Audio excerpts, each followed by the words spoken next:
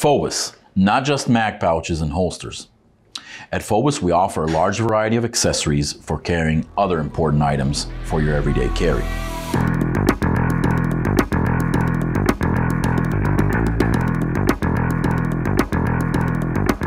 I would like to start with our T-belt.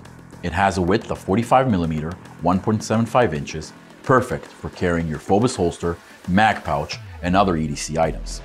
The belt is available in different sizes and comes with two unique buckles that in its design concept are a tribute to the AR-15.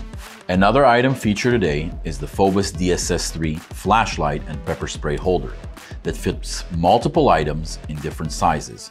Due to its construction and spare parts, you can customize it to fit your flashlight or pepper spray perfectly. A must-have item for any duty belt is our Fobus HSP2 pouch, which fits most chain and hinge handcuffs.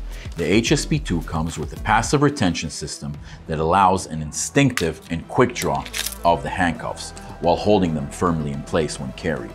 Two smaller accessories shown today are the PRF Picatinny rail for quick lock attachment that enables you to attach any accessories that can be mounted to a Picatinny rail such as a light, laser, or ammo pouch. The last accessory to be featured is the Fobus IWB clip, which can be mounted easily to any Kydex or Boltaron holster on the market.